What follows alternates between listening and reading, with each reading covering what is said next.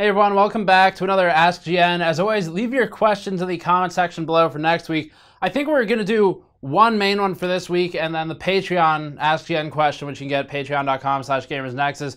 So we'll probably do another one, but we're going to Taiwan in a couple of days here. So just for time's sake, probably limited to one. I'm going to talk more about that Computex trip momentarily. So uh, a lot of good questions for this week. One of them I'm going to address on the IC graphite thermal pads. A lot of you are really interested. I do not blame you at all. I'm interested too, but we'll get to that in a moment. Before that, this video is brought to you by Thermal Grizzly's high-end thermal paste and liquid metal. Thermal Grizzly's Kryonaut is an affordable, high-quality thermal compound that doesn't face some of the aging limitations of other pastes on the market. Kryonaut has a thermal conductivity of 12.5 watts per meter Kelvin, focuses on endurance, is easy to spread, and isn't electrically conductive, making it safe to use on GPU dies. Thermal Grizzly also makes Conductonaut liquid metal, which we've used to drop 20 degrees off some temperatures in our delidded tests. Buy a tube at the link in the description below. Okay, so first of all, the Computex stuff. If you're not familiar with it, if you're new to the industry or to this channel, we go to Taipei, Taiwan every year for a show called Computex. This is going on our third year now.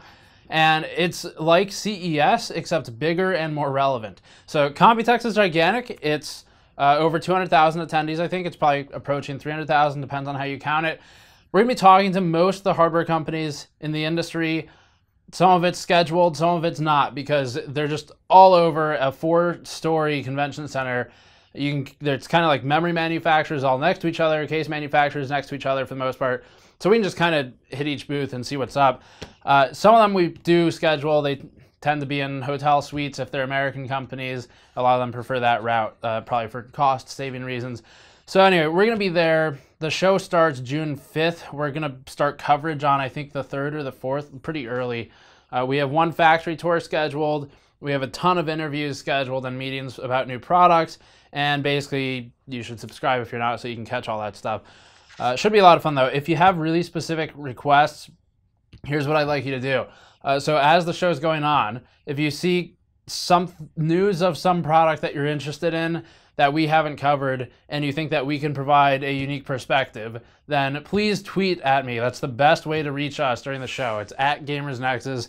Let us know who the vendor is and what the product is. We'll see if we can go check it out uh, if time allows. And that's probably the best way to get us out there. We, we try to be a try to keep the technical approach at these trade shows.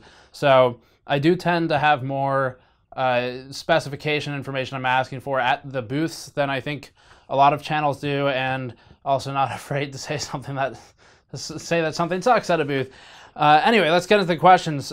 So first one here is from, uh, oh, also one more thing. We're gonna be in Japan briefly after Taipei. Just basically we decided to stop there on the way back because uh, it's kind of on the way. So uh, it should be pretty fun. We're going to go to Akihabara, I think, and see if we can do a video there. But anyway, if you have ideas about what we can do in Tokyo that's related to technology, please let me know because I haven't prepared for that part of the trip at all. So if you know anything about Tokyo and technology, computers, anything related to what we do, even somewhat, uh, let me know what it is, and hopefully we can go make a video about it. All right, first question.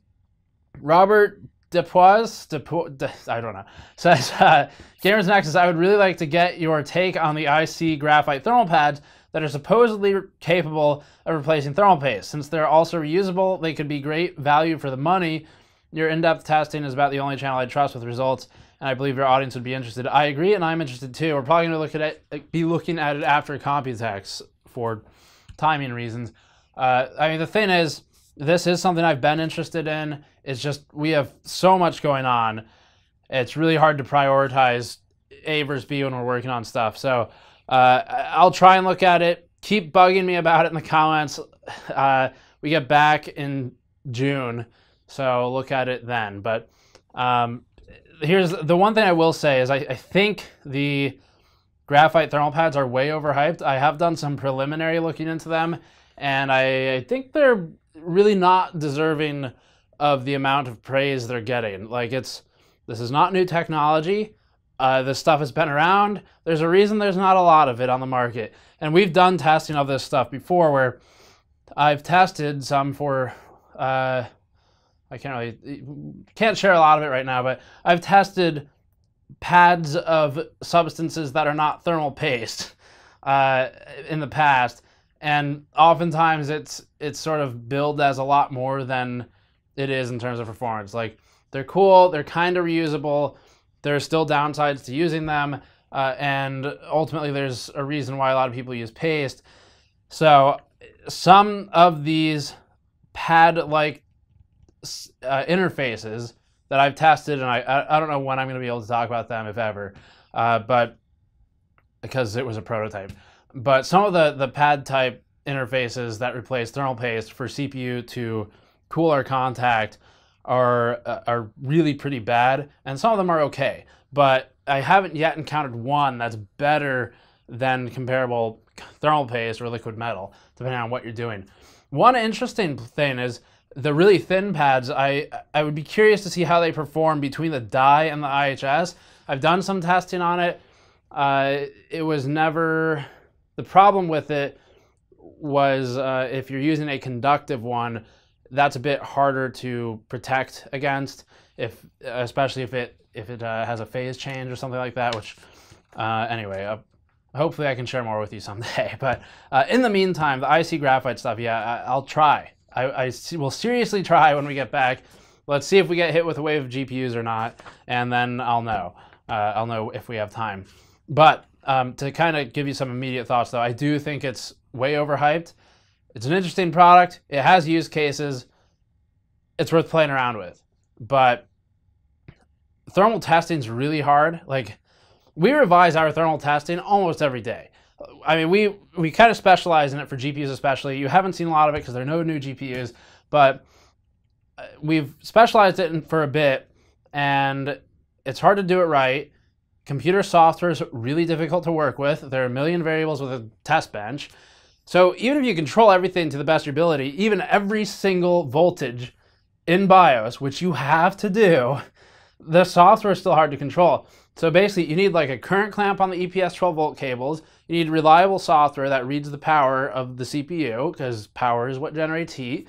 So you need to control those two things very specifically and then also go through all the voltages in BIOS and manually set them. No auto allowed ever for that kind of CPU thermal testing. And also use software that you can control to a relative degree of certainty and then run multiple repeat tests uh, instead of throwing out outliers, inspect them and see why are they an outlier. If it deserves to be thrown out, then throw it out. But um, it's it's pretty hard to do thermal testing accurately. We revise it constantly. I would imagine that a lot of user testing online, and I haven't looked at other media outlets. Truthfully, I, I really haven't looked at other uh, media outlet reviews of these pads. But I would be cautious of trusting thermal testing from random sources on the internet because it's hard to do it accurately. And also, even if they do it accurately, it's probably not comparable to person B's test from person A's test because there's so many ways to do thermal testing. If it's not controlled, then you might just be looking at two different scenarios where it might perform well in one, not the other. Or you could just have a bunch of useless data. So, next question. Guy Vera says, how are graphics card water blocks made? This is a really good question. Are they machined from bar stock or cast and then finished by a mill? I'm not an expert on manufacturing, but I can do some research. So uh, looked around a bit and talked to some people as well. Uh, EK water blocks, plexi parts, like their terminals, are made out of CNC machined, uh, they are CNC machined from solid acrylic pieces uh, that are cast. And most blocks are machined, and there's actually a great video from Aqua Computer. We'll, we'll put it up on the screen, hopefully if the editors catch this. But their uh, Aqua Computer shows how the blocks are made, mostly using CNCs and mill attachments and even polishing attachments to basically the CNC part subtracts out unwanted material to make the channels, and a lot of water blocks use milling and machining. Some of them are cast. They tend to be a bit cheaper according to our friend VSG from Thermal Bench uh, if they are cast, but most are machined or, uh, or produced in the fashion you're seeing with Aqua Computer. Some of these companies collect the remaining scrap metals for recycling. Aqua Computer is one of them. So Aqua Computer basically as as they subtract out the copper they don't want, it gets kind of pushed aside, eventually filtered out, recycled, goes to scrap material companies, and they don't make a ton of money from it, but it helps offset costs a bit. Uh, and then there's also a lubrication solvent that's used as the channels are created, so it helps with the heat that's generated from the milling devices. They get really hot uh, just from friction, and then and speed, and uh, also helps with cleaning things out. It's i.e. solvent and lubricant. So that gets filtered actually and can be reused as well. It's pretty recyclable, unlike water, uh, which gets dirty and useless with time. So that's pretty cool as well. Anyway, that's about the most I know. So I do really like the question. Uh, hopefully that gives you the basics of it. And this kind of made me think like, oh, we should just go visit one of these factories sometime and make a video. So we'll probably do that. Next question is from the Gula, who says, Downdraft coolers are actually worse, in all caps, at cooling the VRM than tower coolers. They're blowing hot air from the CPU right off on top of the VRM. Some of that hot air circulates back into the downdraft cooler. The tower cooler, on the other hand, blows hot air right out of the PC and sucks some air by negative air pressure from the VRM. Okay, so first of all, this blanket statement is a really bad place to go. Saying things like downdraft coolers are worse at cooling the VRM than tower coolers is uh, for sure going to make you incorrect in at least a few instances. You might be right in some, you'll be wrong in others. Cooling is complicated. The design of the case impacts how it works. The design of the cooler impacts how true this statement is. So we've, as someone who has done testing on this properly and in depth, the thing is, and I, I see you mentioned Hardware Unboxed too. I haven't seen their video, but it looks like what you're doing here I'm not saying anything about their content. I haven't seen it. But what you are doing by uh, commenting on their content, you're saying they have a tower cooler outperforming Wraith and cooling the VRM. Well, they're different coolers. So it's possible, yes, that a tower cooler, especially with a low enough fan, which we've tested, can cool VRM components better in some instances than a downdraft cooler. It's also possible, as we've tested, that a tower cooler with a crappy fan, particularly one that's that's higher up from the socket doesn't get any air over the VRM. Both will be better in general than a front-mounted CLC, which is just pulling, it's pushing hot air into the case because you, well, it's pulling in cold air and then it's going through a radiator. It's pushing hot air into the case. And if you have no other fans in the case, we're assuming a basically a closed system, then that would be the worst case. If you have a tower cooler and no other fans in the system, that would be better than what I just described. But a tower cooler versus a downdraft cooler, the answer is it depends. So the first two things are more or less concrete for the most part. And tower versus downdraft efficacy is going to depend on what kind of fan is used, where is it positioned, and uh, are there any other fans in the system. Also, where are the mesh ventilation ports if there are any? How small is the box? Is it an ITX box? If it is, then it's possible that uh, in some instances, a downdraft could be better and some could be worse because you don't. It depends on where the ventilation ports are, if there are any again, and uh, and also just how crammed it is in there. So to say just flat out that downdraft coolers are actually worse at the VRM cooling than tower coolers is incorrect because it's a blanket statement. That's correct sometimes, and it's very wrong other times. So for the point of it's blowing hot air from the CPU onto the VRM, okay, but it's blowing air onto the VRM. So it's still getting air onto these components, potentially even over a heatsink in most cases, which is going to be better than stagnant airflow, which is what you'll get with some tower coolers that have their fan positioned too high up or just a really bad low pressure fan. And a lot of those exist, especially some of the Hyper 212s, because not all of them, but Hyper 212s use different fans depending on what production run you get, and some of them suck more than others. So uh, yeah, I mean, any airflow is better than no airflow. The fact that the air, air has been warmed is really sort of irrelevant because you're talking about an air temperature that's maybe like 40 degrees Celsius. A VRM can get up to like 100 plus, like for a MOSFET. So you're not making it worse. That's for damn sure. Next one. Uh, Namach, I don't want to give my real name. Okay, that's easier. Uh, says, dumb question, is it better to plug in the computer than turn on the power supply, or is it better to turn on the power supply and then plug in the computer, or does it not matter? Same question in reverse. The only reason I'm including this is because it's actually kind of uh, is is very simple, but also a good question, and also brings us back to basics a bit. The only reason it would matter is if you sometimes you get an instant on signal. It depends on like the the last state of the motherboard in the system. Uh, it may have been powered down in a way that it's going to attempt to boot as soon as it detects PS on, uh, or as soon as it detects standby voltage from a power supply. Once you flip the switch, so if that's the case, or I've had some power supplies that'll just turn on when you plug them in, uh, even if, you know, with the switch set to on, by the way, uh, even if you don't push any kind of button or trigger anything, a lot of that is just going to depend on the motherboard. So what's the last known state of the motherboard? Is it trying to send a signal to the power supply to turn it on? Um, so I would just recommend uh, plug it in and we or actually plug all your cables in first of all. Um, and then uh, turn on the power supply last. So plug in the cable, flip the switch later. Uh, it doesn't really matter a whole lot, but just in case there's like a an on signal coming from the motherboard as soon as you plug everything in and flip the switch, just make sure all your cables are plugged into the motherboard. But I mean, it really doesn't matter a whole lot. It's just kind of it, just make sure your stuff's plugged in just in case. Because like, for example, in a, a, nightmare scenario, you could have maybe forgotten PCIe cables, maybe one of them to a video card or something. That can actually cause damage in some instances. It depends on the video card, what kind of protection, everything the motherboard, the video card, and the power supply have.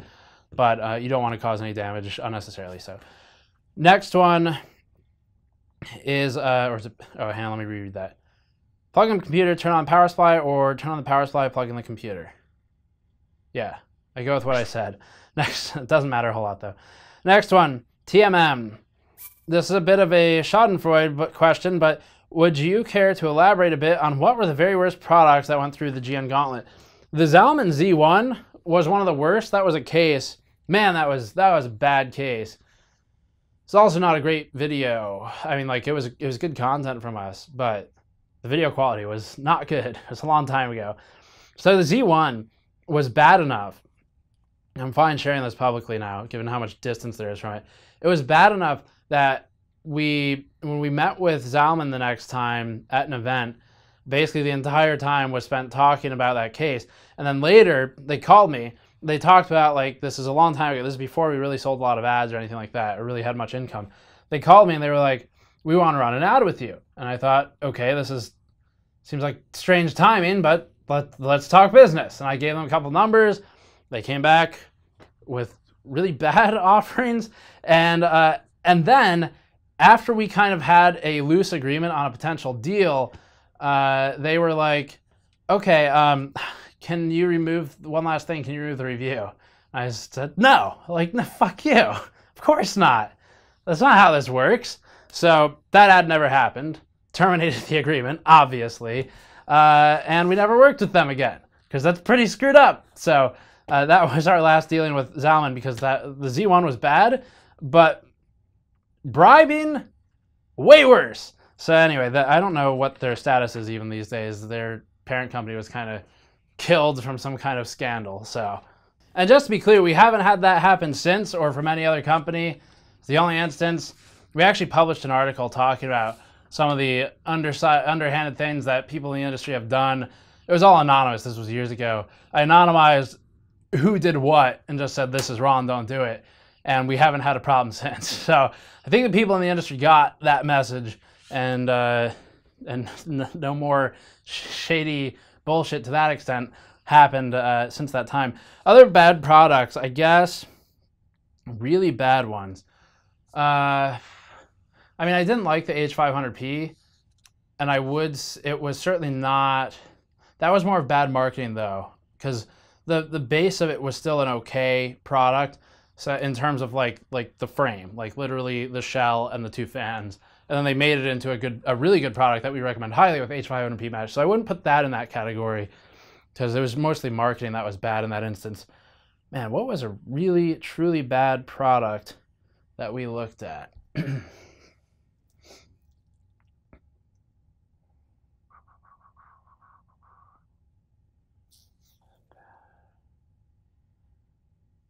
Oh, uh, another case.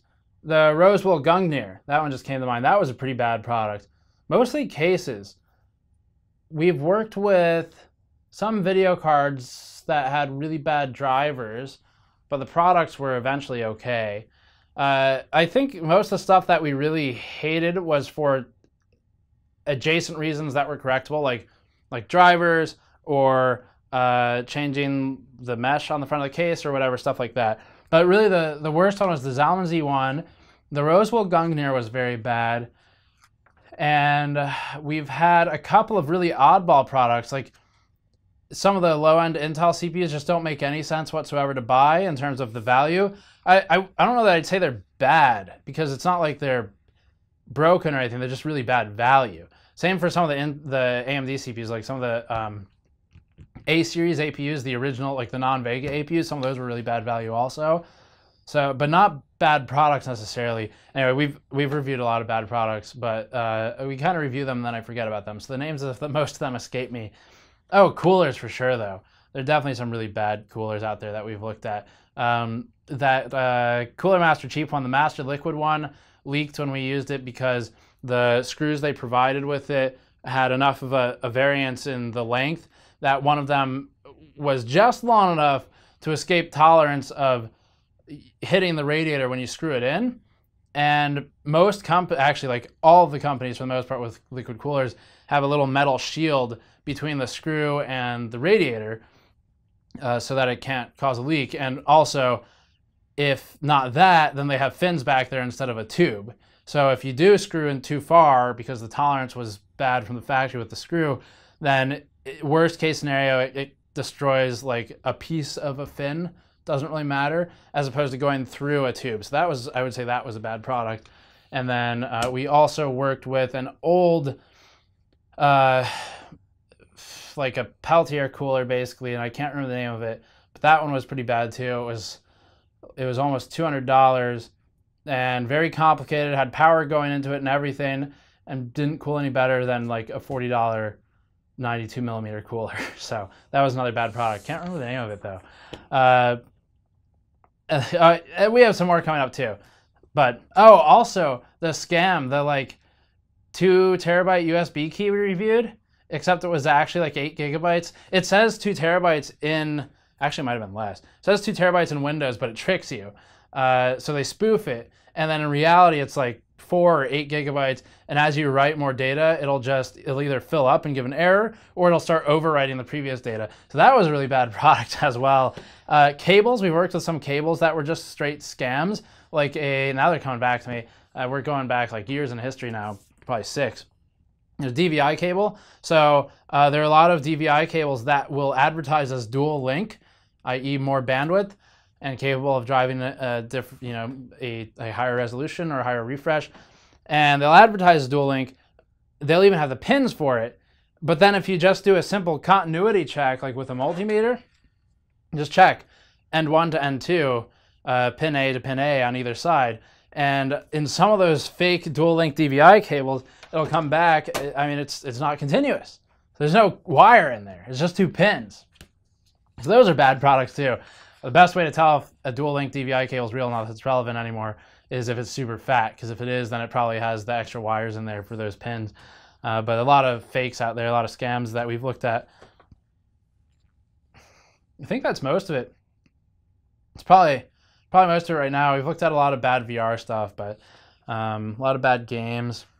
If I think of more, I'll let you know. Uh, next one. Gamer Games. Is water cooling RAM worth it? Featuring ADATA Spectrix D80 Jellyfish and any programs to stress memory. Not really, no. It's like, it's kind of interesting. And the Jellyfish stuff is a good way to get some attention as a memory manufacturer, making a component that, for the most part, is a commodity at this point, uh, where you just pick kind of what's the most affordable. So it's a good way to get attention. Totally unnecessary and DDR4 especially, it's already low voltage, it's low heat. Even we were running 4,000 megahertz tight timings for that RIP LTT stream, and it didn't need a fan on the memory. Now, older versions of DDR, you could do with some cooling, but you didn't need that. Next one, Commander Flint. Does enabling the iGPU on Intel CPUs impact CPU overclock thermals? Uh, or performance in general, some DX12 titles and certainly benchmarks are beginning to make use of explicit multi-GPU and can potentially make use of integrated graphics on Intel CPUs. Uh, minimal game gains given the relatively feeble nature of it, but gains nonetheless. Surely having another piece of silicon active drawing power and creating heat on the CPU die will have negative impact on the CPU itself. So uh, potentially, if they're using more power jointly, then yes, you're going to end up with more heat. It's all it all comes down to how much power is being used under that IHS, and whenever you have more power being used, it's going to be hotter for everything under it. Um, that said, in our Premiere benchmark, we actually found there was less power consumption by about two. There, in terms of current, it was about two amps less with, or two two fewer amps uh, running the IGP versus not. And that's because what happens is the IGP is accelerating to a point that the CPU doesn't need to do as much work anymore. So you end up with, with lower power consumption overall to the extent of like 20 watts, 24 watts in that scenario, which means that the CPU will be cooler, the IGP will be warmer, but, uh, but not unreasonably warm. And so between the two of them, you end up actually better off overall. As for games, uh, DX12 titles, I do not think you'll end up ahead by using an, an Intel IGP with explicit multi-GPU if it's even supported. I would have, I'd be hard pressed to find one. Uh, using an IGP with a DGPU, I don't think you're going to end off ahead. But um, yeah, I don't know. I haven't really tested. I, I'm not aware of any titles that are able to do that. But I hope the rest of it answers your question, though. More power is more heat. Uh, Boone says, I know this is getting really picky, but have you considered adding a snap to the left side of the mod mat for a common ground point? Given where I want to put one, I really need the ground connection on the left side of the mat. I'm sure I could run an extension to it. Would be so much neater if I didn't have to. Cable management, OCD strikes again. I'm also open to modding my mod mat. super meta. You need a mod mat to mod the mod mat. Uh, any suggestions on adding a snap on my own mat without having to buy a minimum pack of 100 or more of these things? Uh, what are the specs of the snap? We have it on the site.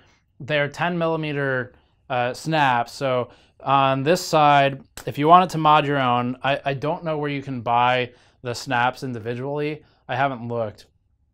Um, and I don't think you'd really be able to, I've done it. You, you wouldn't really be able to pull this out too cleanly. It'll leave a bit of a mess and damage some of the rubber around it. Uh, I, I mean, I've done it because I, when I was prototyping them, I put my own hole in the mat and like put a snap in it, which I pulled off of another one that I spent like a hundred dollars on. So not the best solution, but um, yeah, it's a this is a 10 millimeter male stud and this is a 10 millimeter female snap. So that's the the parts. Now, I haven't looked at where you can buy them. I'm sure you could find it on eBay or something. And then you'd basically just uh, get something to poke a hole in this side Obviously, we don't officially recommend modding it, but I totally understand why you would want to. So if you want to do that, you find something poke a hole in there cleanly and um, find the, the snap and everything. If you're really concerned about it, send us an email, support at gamersnexus.net, and do me a favor, do a bit of the work for us, because uh, I have a support guy who does that stuff, but for a technical question, I'll have to get in there. So uh, do me a favor, if you do email, specifically send links to the things you're thinking of buying, and I'll let you know if it'll be compatible with this common ground point, uh, and hopefully make sure everything works cleanly for you. As for adding one, if more of you want like a, a second snap on this side, let me sound off in the comments and we'll look into it. I don't think it would be too big of a deal to do that, to add a second one. And I think that's all for this one. So uh, thank you for watching. As always, go to patreon.com slash gamersnexus to help out directly and get the bonus episode. And uh, that'll be it for now. We'll do more when we're in Taipei at Computex. So subscribe for that. Go to store.gamersnexus.net to pick up the mod mat I was just talking about. Oh yeah, quick update. These are in stock, like here, and they're shipping. So it's no longer a back order. If you want one, it'll basically ship, you know, within a day of you ordering it. So uh, thanks for watching. I'll see you all next time.